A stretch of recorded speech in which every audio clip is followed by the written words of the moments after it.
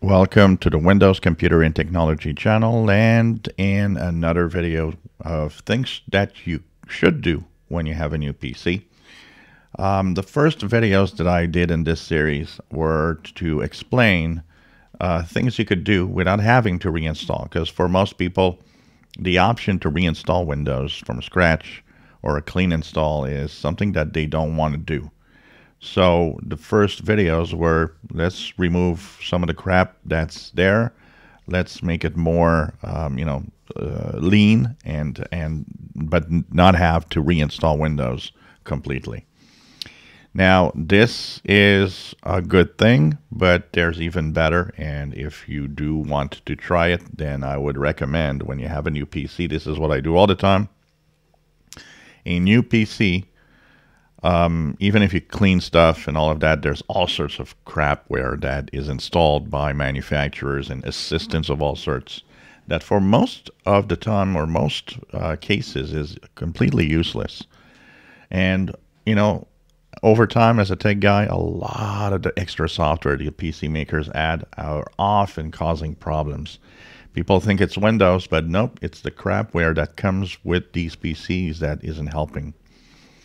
So we talk here of a clean install or at least a reset the PC. Reset the PC for somebody that's not very tech savvy is an easy way to reinstall Windows without having to deal with, you know, downloading Windows 11 or using some media or creating anything special.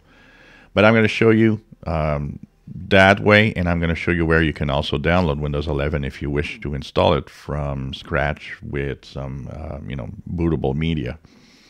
So in Windows 11, the uh, first thing that you could do if you want to try it and really remove everything is simply to go into your settings.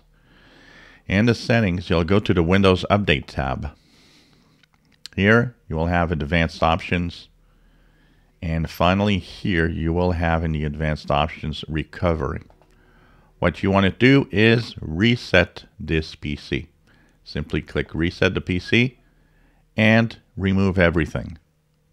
Once you do that, you follow the instructions for downloading an image or for using whatever uh, it's going to ask you. It's pretty easy to do. You just follow the instructions.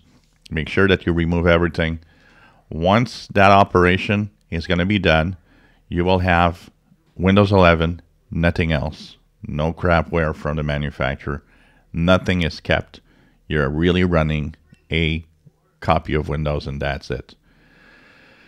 If so, that's the easy way. And of course, for those that aren't uh, faint of heart and that are you know tech enthusiasts, uh, the best way, of course, will be to simply go to the download page. I'll share the link in the description below, where you can actually have the Windows 11 installation assistant that will guide you and will help you do a complete reinstall. You can also use the Windows 11 installation media. Uh, you can have the media creation tool, and you can also download the image of Windows 11 that you can uh, put on the uh, USB thumb drive where it can be used for a complete reinstall of Windows 11.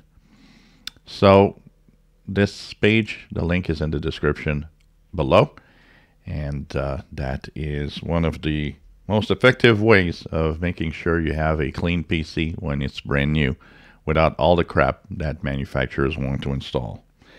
If you enjoy my videos, please subscribe, give us thumbs up. Thank you for watching.